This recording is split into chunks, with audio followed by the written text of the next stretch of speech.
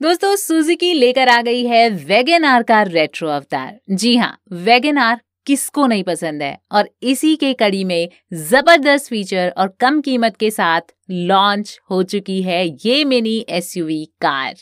हालाँकि मारुति सुजुकी पहले से ही मिनी एमपीवी वेगन आर बनाती आ रही है, लेकिन अब एसयूवीज के बढ़ते क्रेज को देखते हुए और सुजुकी वेगन आर की पॉपुलैरिटी को देखते हुए इसी तर्ज पर एक और नई car, Suzuki Hustler SUV market में आ गई है।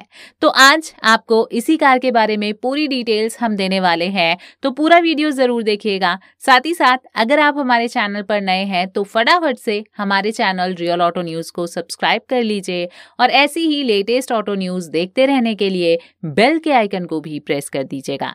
सबसे पहले इसके एक्सटीरियर की अगर मैं बात करूँ तो इस कार में एलईडी के साथ सर्कुलर हेडलैम्प्स नई टेल लाइट्स और बम्पर्स दिए गए हैं। वहीं इसके डैशबोर्ड को युवाओं की पसंद को ध्यान में रखते हुए डेवलप किया गया है। कार में सेंट्रल कंसोल उसमें बड़ा टच स्क्रीन इंफोटेनमेंट डिस्प्ले आसानी से कंट्रोल होने वाला स्टीयरिंग व्हील डिजिटल डिस्प्ले के साथ नया instrument console dash mounted gear lever और बड़ा व्हील बेस दिया गया है। 2021 सुजुकी हसलर एसयूवी में इंजन की और पार क्षमता की मैं बात करूँ तो इसमें 660 सीसी का पेट्रोल इंजन आपको मिलेगा, जो कि नेचुरल और टर्बो चार्ज अवतार में आएगा।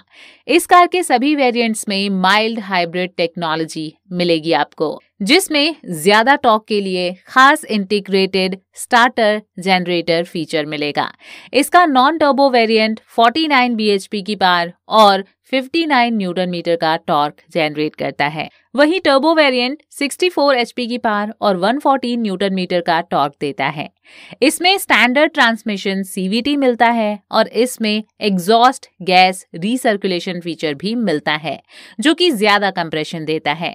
ग्लोबल ट्रेड को ध्यान में रखते हुए इसमें advance driver assistant system adaptive cruise control camera guide pedestrian detection system traffic sign recognisation system और एक्सीडेंट से रोकने के लिए खास फीचर भी मिलेगा।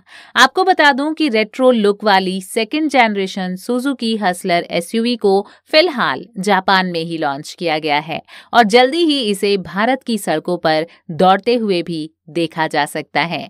और खास बात यह है कि इस कार को सुजुकी के Heartect compact car platform पर बनाया गया है। इसी प्लेटफॉर्म पर वेगन आर को भी डेवलप किया गया है।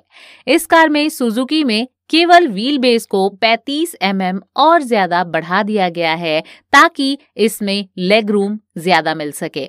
2021 सुजुकी हसलर एसयूवी की जापान में बहुत अच्छी बिक्री हो रही है। वहीं इसकी कीमत पाँच लाख रुपए भारतीय मुद्रा में रखी गई है, जबकि इसके टॉप वेरिएंट की कीमत आठ लाख रुपए तक जा रही है।